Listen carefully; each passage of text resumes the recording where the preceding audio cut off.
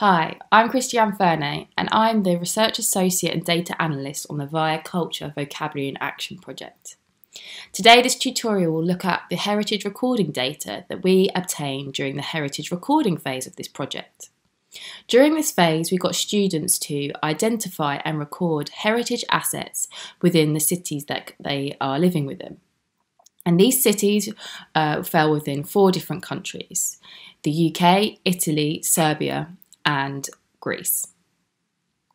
The whole point of this was to enable students to not only integrate the city that they were living within, but also to co produce the cultural heritage within that city. So, first of all, let's look at the dem demography of the uh, students within the sample. We recorded things regarding the students before they went out and identified these heritage assets in terms of their age, gender, religion, country of origin, language, and, uh, and other things. And I'll go some, through some of these statistics just now. First of all, if we look at the sample as a whole, so, so combining all those different countries and different students together, um, we had 103 three students in the sample, with 51 students being male, 45 being female. And the remainder of the students either did not want to say their gender, were not sure of their gender, or did not give a response. We then, when we look at age, if you look at the graph on the right there, we've got this really varied age profile of the students within the sample. We have students from the 11 to 13 category all the way up to 40 plus category. However, our students mainly fall within the 14 to 17 and 18 to 21 categories. Then we can look at the country of origin and the religion of the students. The map on the left shows the country of origin of, of the students within the, within the sample, with the locations that um, our uh, students came from uh, indicated in blue. As you can see, we've got students from across the globe, from all different continents, from South America, Africa, Europe, and Asia. The uh, intensity of that blue colour in indicates the frequency of the student. So the darker blue means a higher frequency. So as you can see from um, the map here, we've got this highest frequency of students from Russia in the dark blue. And this is then followed by China, and then some other, other countries follow behind that. In terms of religion, we have a varied uh, religious profile of the students within, within the sample. However, the majority of students are Muslim. And then this is uh, followed by the dif different Christian denominations. So we've got Catholic, Orthodox, Protestant, and other, uh, other Christian denominations which they did not specify. Then when we can look at the different countries in particular. So first, let's look at on the left, Greece in terms of gender and age profiles. In terms of gender, we can see that we've got 28 individuals out of 40 that were female and 11 that were male, and one individual did not want to say their gender. In terms of age, we've got this quite broad range of, of students from 18 to 21 to 41 plus, and it's kind of evenly distributed across these age categories. From Italy, we had 15 students, and 13 of these, so quite by far the majority, were male, and two were female. Again, we have a kind of quite broad age categories from 18 to 21 to 30, 36 to 40. Again, a quite even distribution between these categories, like in Greece. Serbia, we had 16 students. 10 of these students were female and 5 were male. Um, and the remaining student did not wasn't sure of their gender. And these age profile from Serbia um, was the youngest age profile, with students uh, aging from between 11 to 13 to 18 to 21. And then finally, the UK, we had 32 students.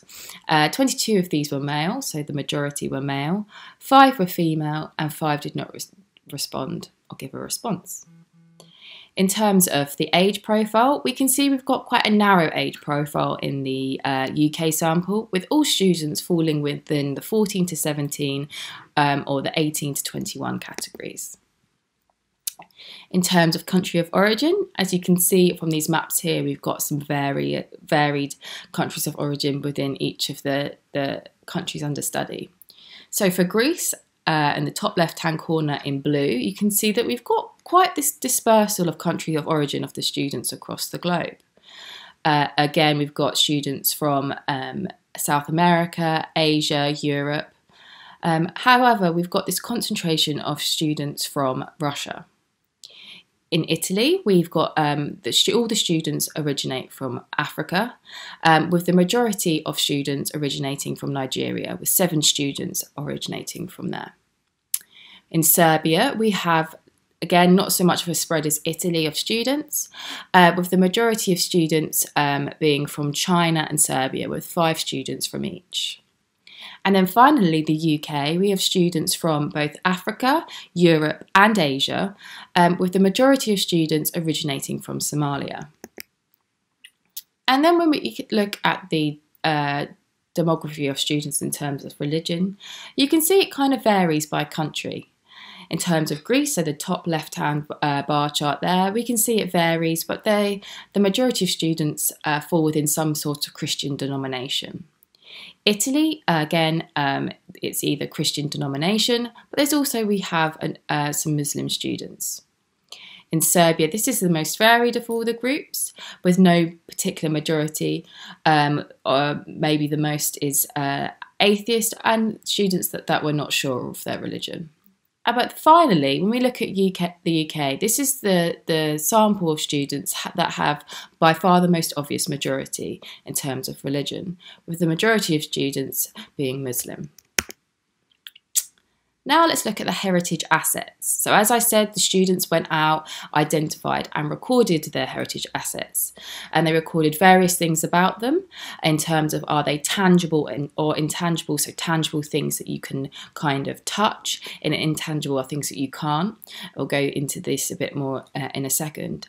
And then they characterize these things further. And we'll go through those, these results here, like we did with um, the student profile, looking at the sample as a whole and then the individual countries. First of all, let's look at this, this separation into tangible, intangible across the whole sample. So in total, we had 158 heritage assets identified. So the majority of these were tangible, 122 tangible heritage assets and 36 intangible heritage assets. From this, they were characterised further into specific things that, uh, that were tangible or intangible. So the, the bar chart on the left looks at the tangible characterisation. And as you can see from the bar chart, the most common tangible characterisation were mo modern historic buildings. Um, this was followed by uh, food or drink, and then followed again by religious buildings. In terms of intangible characterizations, uh, the most common characterization was a song, followed by a language, um, and this kind of follows through um, onto festival and a dance.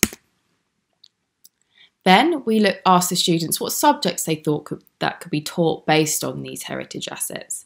And kind of unsurprisingly, the by far the majority was history. Um, this was then followed by language and art, and then a various other other things um, from uh, culture to physics. Um, but history, language, and art were the majority. Then, when we look at heritage assets type by country, in Greece, 58 heritage assets were identified. In some cases, students um, identified the same heritage assets, but this was condensed down into 58 heritage assets. 43 of these were tangible and 15 were intangible. In Italy, 26 heritage assets were identified, 21 were tangible and 5 were intangible. Serbia, 28 heritage assets were, were identified with 24 tangible, so by far the majority compared to the other, uh, proportionately to the other countries, and four were intangible. And then in the UK, 34 were tangible and 12 were intangible. Now, when we look at this characterization, let's look at tangible first. For Greece, you can see that a historic archaeological site um, was the most common, followed by a food or drink or an object. In Italy, uh, there wasn't really a particular um, particular uh, strongest chosen, but modern historic building, religious building, and an art piece were kind of the most common. In Serbia, the most common was a food or a drink, followed by a modern historic building. And in the UK, by far the most common tangible characterisation was modern historic building, followed by religious building or recreational space. And then when we look at intangible classification, um, as you can see in Greece, the most commonly classified was a song followed by a poem. In Italy, it was a, so- a song followed by religion. And in Serbia, it was they classified it as something else other than those given, um, followed by a language. And in the UK, it was a song followed by um, a spiritual expression, a language. And then from this, again, we got them to look at the subject characterization, so what subjects could be learnt from these things. In Greece, again, it was, it, again, most commonly and across the board was uh, was history. This was followed by language in most instances, particularly in Greece and the UK, and in, and in some cases art, particularly in Greece. So as you can see from um, this tutorial, um, even though we had a variety of different students um, from a variety of different um, origins originally um, and different genders and ages, they were able to co-produce cultural heritage in the respective cities. So um, this is something that we will be able to do and it can be applied in a, a variety of different contexts and using a variety of different students. Thank you.